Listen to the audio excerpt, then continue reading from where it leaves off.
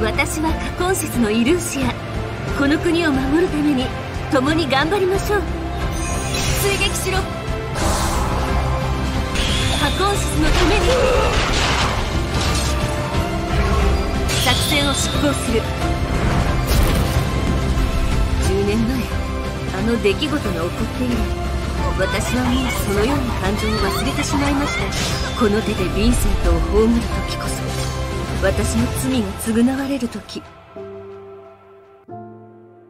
Hey everyone, this is Nitro. In this video, I'm going to be talking about the way to build Ilucia, who is the other new hero that was released on international server on Thursday, July 2nd. So, slightly making a change to these videos, I'm gonna do a very quick summary of Ilucia first before going into greater detail about her. Her basic role is a high defense tank, and specifically she's an aquatic tank she has the Triton skill of Jugler. So what it means is her attack is equals to 1.4 times her defense. In addition to that, her soldiers generally have good damage reduction percentage, and because of that, she can also make a good tank for Sleipnir.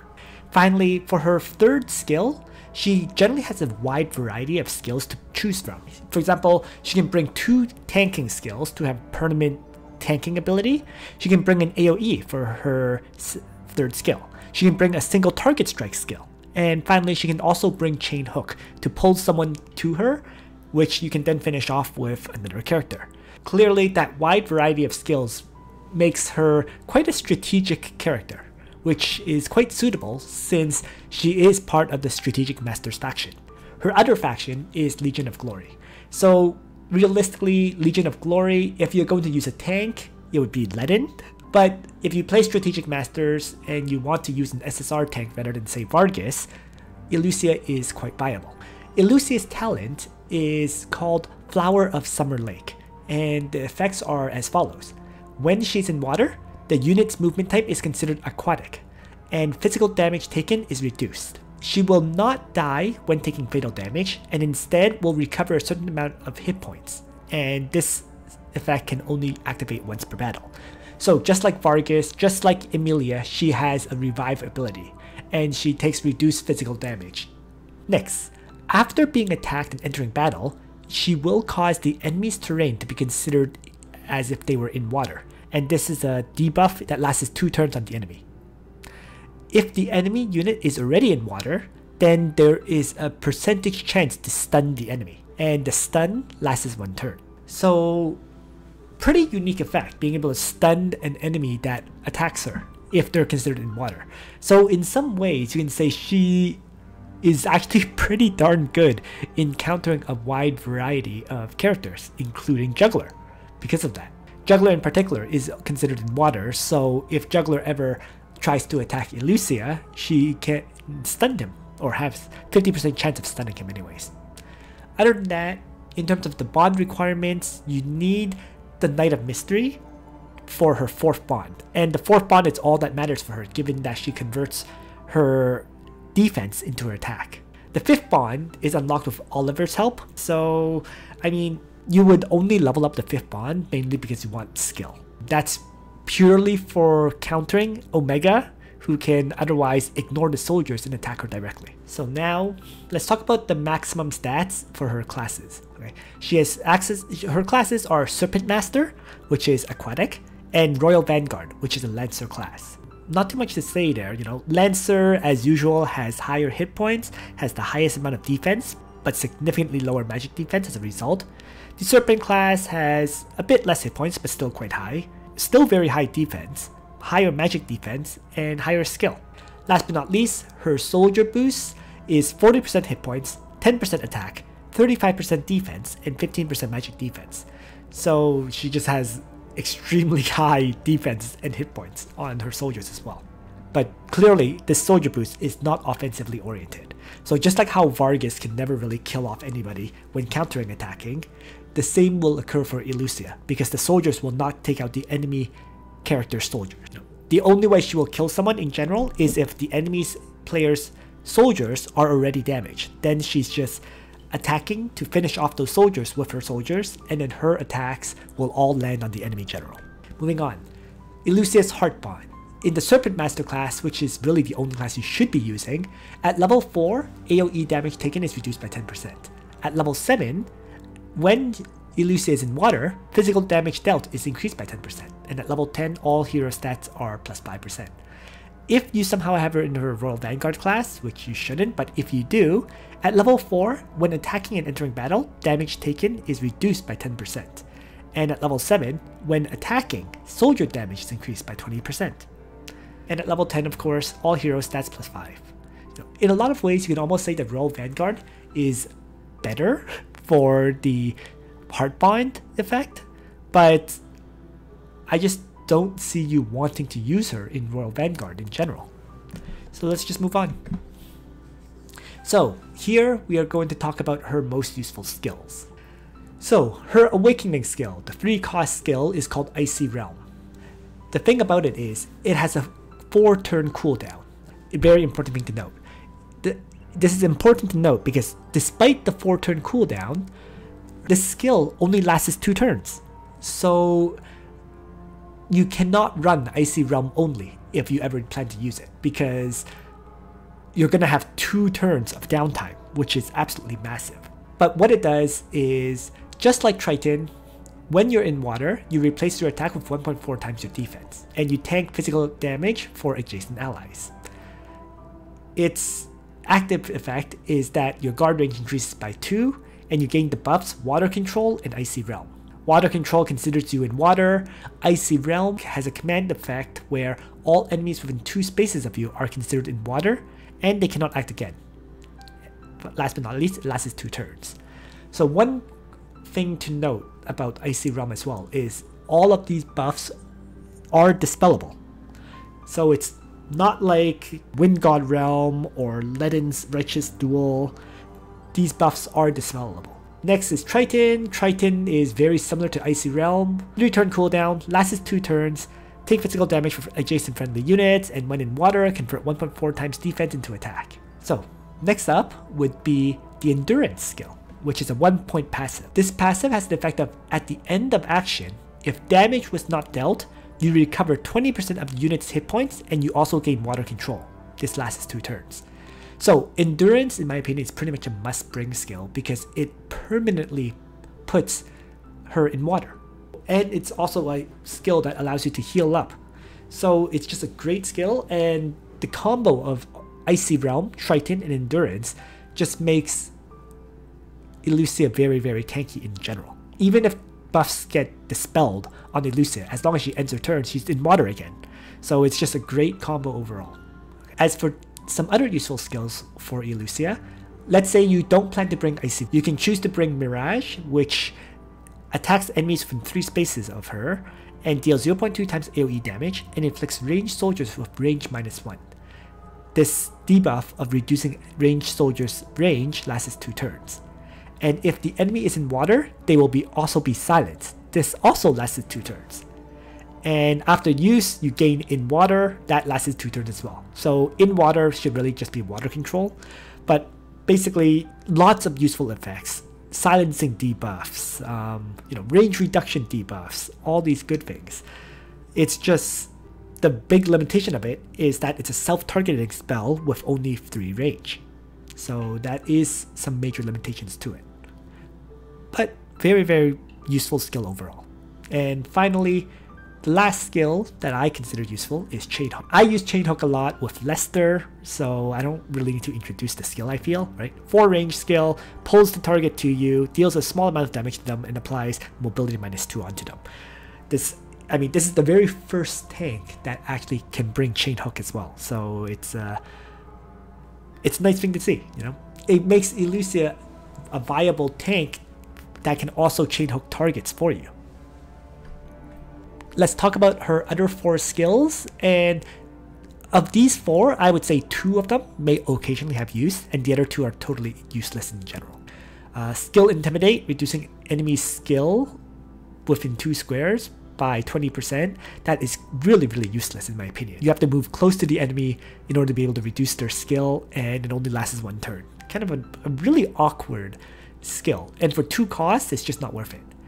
The other one that's kind of useless in my opinion is Tenacity. It's a one point skill where when you're attacked, you get plus 5% defense before combat begins, and this buff lasts one turn, it can be stacked. Ilucia inherently already has ridiculously high defense. Um, you really don't need to stack more defense. Yes, stacking more defense could increase her attack and so on, but at the end of the day, given the choice between say tenacity or something like endurance, I would generally choose endurance instead.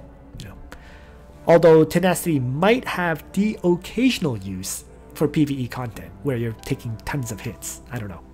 That's the only situation where I can imagine it can be useful. As for the other two skills, surfing, it's her attack skill, right? It deals 1.5 times damage to the enemy uh, in melee range, and after combat, you can treat all passable terrain as water when moving. Lasts one turn.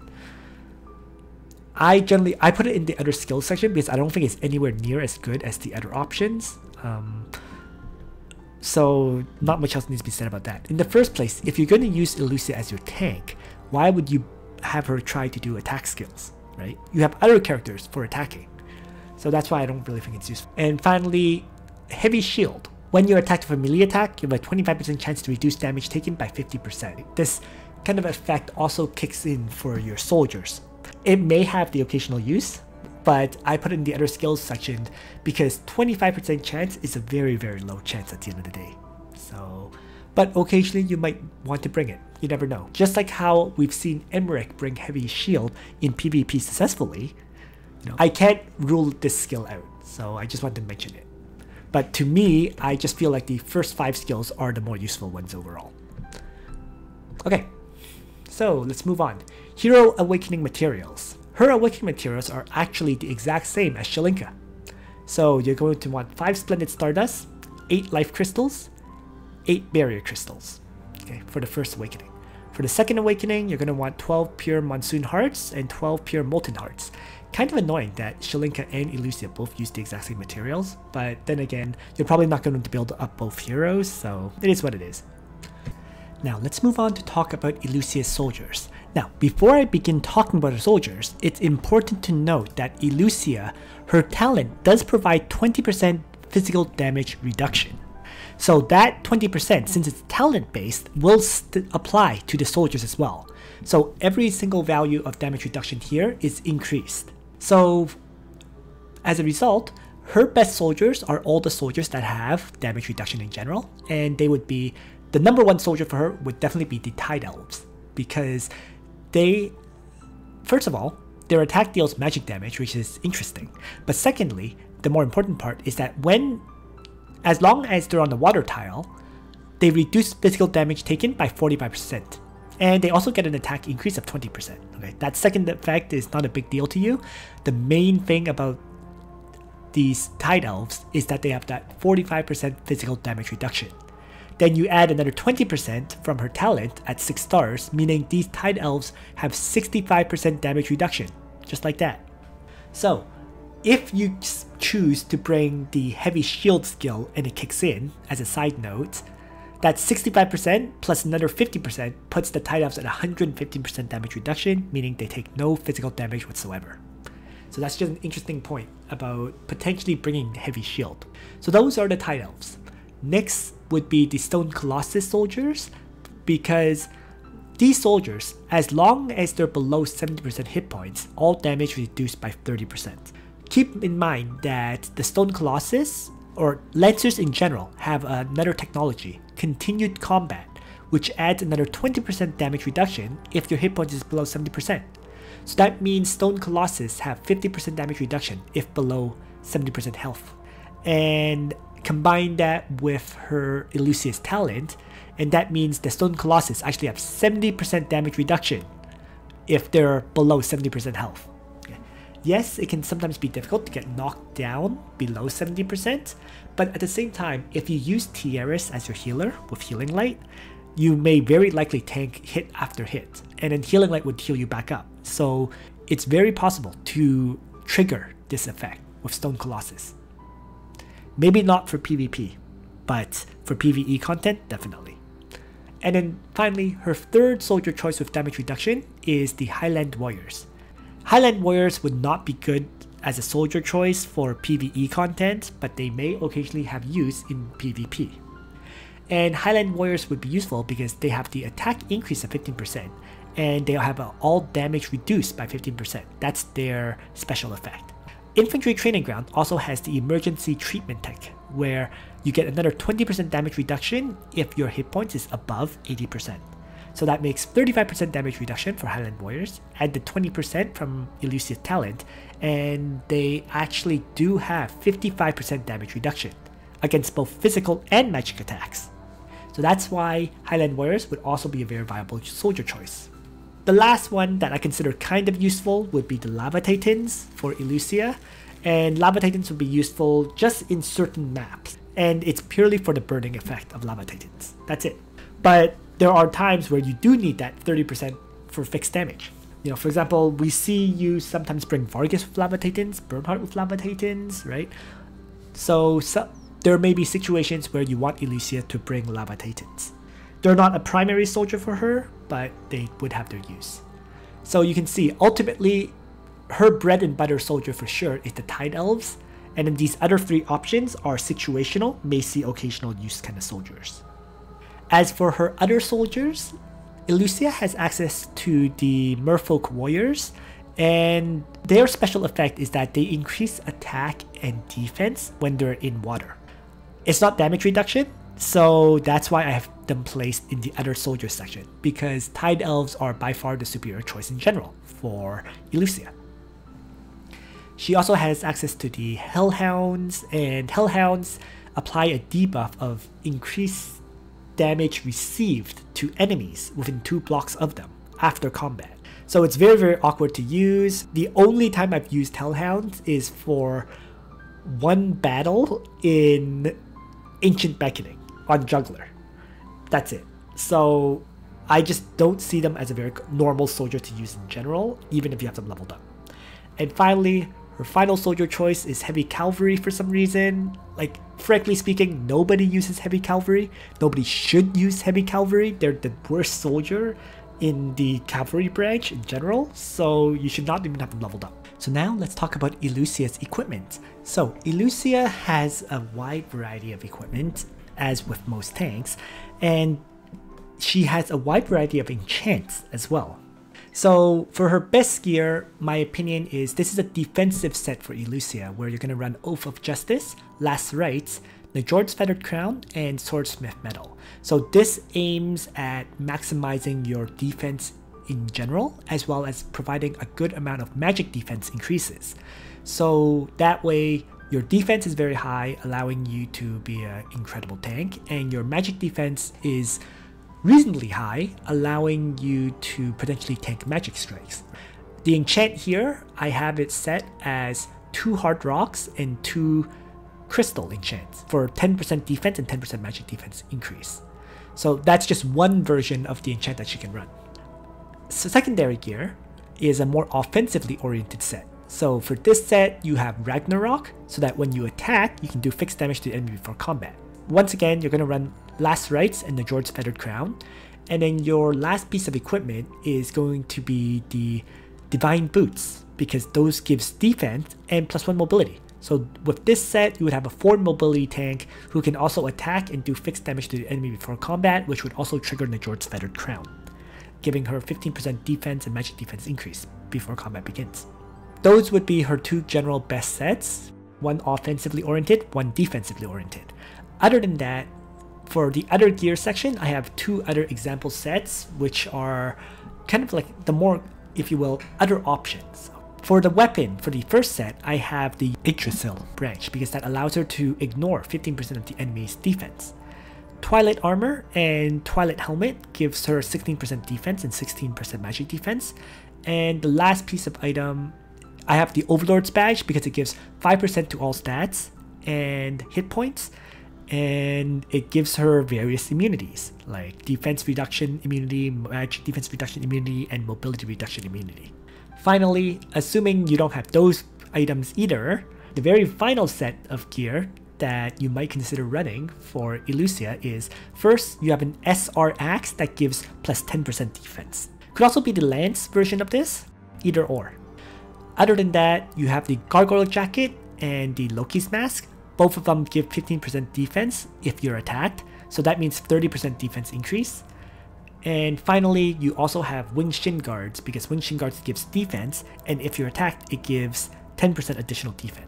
This very last set is very, very debatable. It's definitely not an end gear set at all, but it's pretty common pieces of equipment that you can use. And finally about enchants, I mentioned how she can run lots of different kinds of enchants. So the very first set I had two hard rocks and two crystals for 10% defense and magic defense. Another option is to run Tree of Life because Tree of Life gives 10% hit points and 5% defense and magic defense to herself and all the allies within two blocks of her. Other than Tree of Life though, you can also choose to run Ice because Ice gives the 5% defense and magic defense and it also gives you an additional chance to freeze the enemies to attack her. So if you find freeze freezing to be very very good, ice is very very viable for Elucia. So that would give make it so that Elucia has two chances of freezing enemies. One chance would come from her talent. If the enemy is in water, they have a 50% chance of getting frozen, and ice would be the other chance. Other than ice, the very last enchant that's viable, in my opinion, probably the worst enchant for her, but viable nonetheless, would be steel. And steel would be viable because it gives 10% hit points and 10% damage reduction to her. So combined with the last rites, she would have 50% damage reduction right there. These are all viable enchants for her, you know, kind of up to you depending on what kind of scrolls you have available to you. Choose the enchant that you would want to use. And last but not least, the very final thing to cover would be the class mastery enchants for Elucia. Since Elucia operates by converting her defense into attack, all you're going to want is hit points and defense to maximize your survivability. You'll also want to increase magic defense and skill because it's not as if Elucia will never take magic attacks. So magic defense will always help there. And the skill increase is once again protection against Omega. So what that means is effectively armor and helmet slots should have defense, magic defense, and hit points. The weapon and accessory slot should have hit points, defense, and skill. So I believe the absolute maximum enchant value you can get with this, assuming everything was maximized, is 750 hit points, 65 defense, I think it's 45 magic defense, and skill would be 40 skill. This is the absolute maximum value.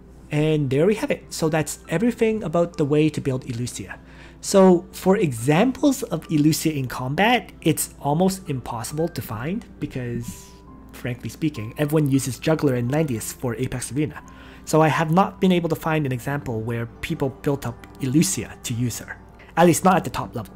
This was like the closest battle I could find and it was actually a gold 3 match with lots of weird characters like for example Lana, like Leon, like Betty in the party, and even Pyrotess joins in, so this is not a normal match whatsoever. However, in this battle, Elucia, who does have the Ice Enchant, as well as her AoE attack, manages to stun and silence so many enemies of player 2. There does seem to be potential for Elucia in PvP, but the big problem of course is building her up rather than building up another damage dealer. After all, it has to be mentioned that player 1 with Elucia did lose this battle. Last but not least, this is the way you would get 100% damage reduction for Sleipnir.